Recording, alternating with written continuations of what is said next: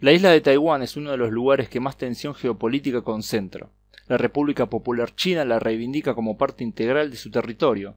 Estados Unidos defiende la independencia de facto de la isla, mientras que la población local parece estar dividida entre quienes quieren esa unificación y quienes quieren ser independientes definitivamente. La pregunta importante parece ser, ¿es Taiwán parte histórica de China? La isla estuvo habitada por miles de años por pueblos austronesios, o también llamados malayo-polinesios. Estos grupos no habían creado un estado unificado. El primer estado moderno que llegó a Taiwán no fue uno de Asia, sino uno de Europa. Navegantes portugueses avistaron la isla y le dieron el nombre de Formosa a principios del siglo XVI.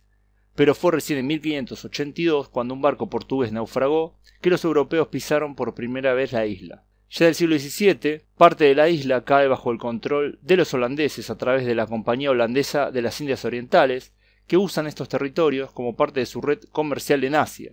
La población en ese momento era abrumadoramente nativa, con unos pocos miles de holandeses y algunos miles de chinos, que eran principalmente pescadores y comerciantes, aunque hay que aclarar que algunas fuentes dicen que los pescadores chinos ya visitaban la isla desde el siglo XIII. En 1626 la parte norte cae bajo el control español, cosa que precipita un conflicto entre ambas potencias, del cual sale victorioso Holanda.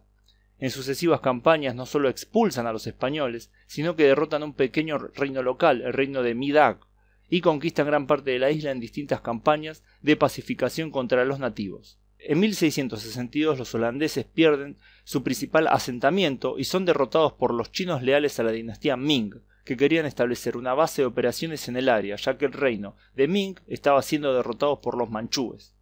Estos chinos establecen el reino de Tungning, y, sucesivas olas de inmigrantes chinos comienzan a poblar la isla. El nuevo régimen manchú que se estableció en China bajo la dinastía Qing derrota este reino, y es luego de esta conquista que Taiwán es empezada a ver como parte de China por algunos funcionarios imperiales. De hecho es cuando los chinos le dan el nombre de Taiwán.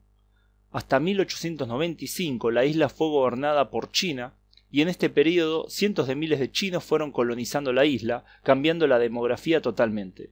En 300 años la población nativa cae al 5% del total.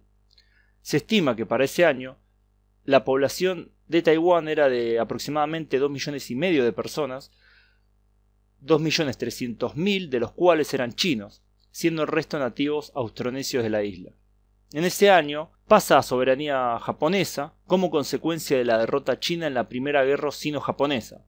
Brevemente, antes que las tropas japonesas pudieran ocupar la isla, algunos taiwaneses participaron de la proclamación de la República de Formosa, que duró 184 días y que combatió durante tres meses al imperio japonés. Los japoneses tuvieron distintas políticas con respecto a los taiwaneses, que fueron desde la discriminación abierta a una política de asimilación, apuntada especialmente a los nativos austraneses. Esta política parece haber sido medianamente exitosa, ya que miles de taiwaneses indígenas fueron voluntarios en el ejército imperial japonés, conocidos como los voluntarios Takasago, estas tropas combatieron muy bien y actuaron en toda la región del sudeste asiático, como Filipinas, Indonesia y Nueva Guinea. Pero hay que decir que bastantes taiwaneses de origen chino fueron voluntarios y combatieron junto a los japoneses también. A ellos habría que sumarle los miles que fueron reclutados. Se estima que más de 200.000 taiwaneses sirvieron en las Fuerzas Armadas japonesas, de los cuales más de 30.000 murieron o desaparecieron en acción. Es de notar que un presidente de Taiwán, Li Teng-hui, Formó parte de las Fuerzas Armadas japonesas y su hermano murió luchando por el imperio japonés en Filipinas. También hay que decir que miles de colonos japoneses se habían asentado en la isla,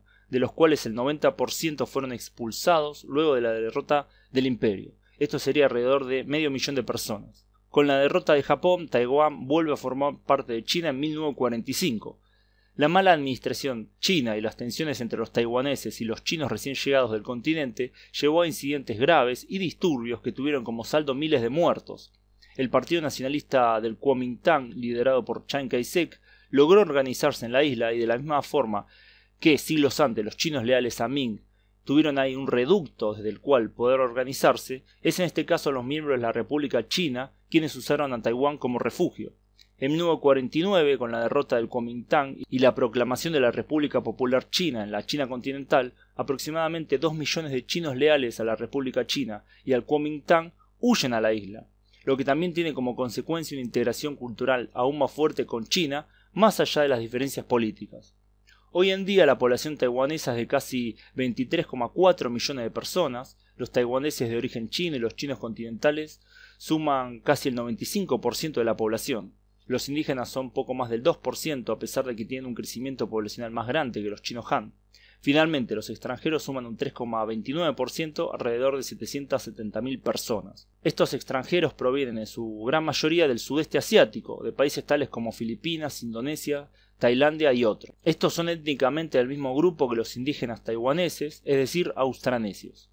Se estima además que más del 70% de la población de Taiwán tiene algún porcentaje de sangre de los nativos austronesios producto del mestizaje a lo largo de los siglos. Paradójicamente, dado los cambios de las últimas décadas, hoy en día el Kuomintang está a favor de la unificación con China, mientras que son otros partidos quienes están a favor de declarar la independencia, cosa que las autoridades de Pekín dicen que no van a tolerar y que llevaría a una invasión militar como respuesta.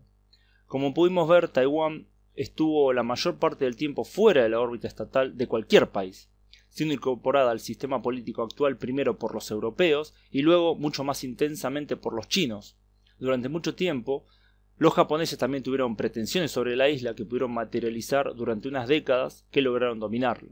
Los nativos de la isla parecen ser los grandes perdedores de este juego geopolítico de las potencias de la región y de otras partes del mundo, y estos nativos son verdaderamente especiales, ya que la hipótesis más aceptada es que desde Taiwán comenzó la expansión austronesia que moldeó el sudeste asiático, las islas del Pacífico y más allá. Prontamente estaré haciendo un video sobre este grupo tan particular y notable. Espero que les haya parecido interesante el video, no duden en suscribirse si son nuevos al canal, pongan me gusta si les gustó, compartan si les parece que vale la pena. ¿Creen que Taiwán pertenece a China o debería ser un país plenamente independiente? Eh, pongan sus comentarios en la caja de comentarios y bueno, gracias a todos por su tiempo y nos estamos viendo en el próximo video. Saludos.